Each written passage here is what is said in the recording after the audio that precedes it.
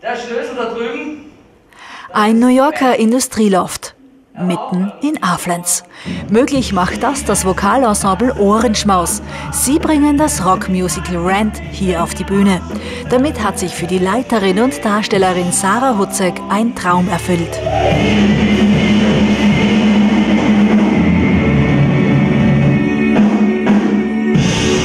Ja, ich habe das Musical Rent vor ungefähr zwölf Jahren gesehen, das erste Mal, und war einfach sofort begeistert und mir gedacht, boah, das würde ich gerne mal machen. Und so vor circa eineinhalb Jahren habe ich dann so engere Freunde gefragt, ob sie sich vorstellen könnten, dass wir das auf die Bühne bringen. Und die waren Gott sei Dank verrückt genug, um Ja zu sagen. Und so ist es dann entstanden.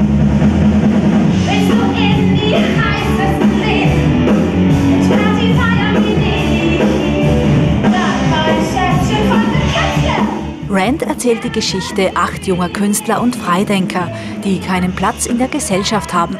Das Musical weicht brisanten Themen nicht aus und thematisiert Homosexualität, AIDS und Rassismus. Natürlich wird es immer Leute geben, die ein bisschen pikiert sind vom Thema, aber ich denke mal, heutzutage sollte man da keine Scheu mehr haben. Und es spielt ja sowieso nur auf Themen an, die schon bekannt sind, ohne jetzt irgendwie mit dem Zaunfall zu winken oder so.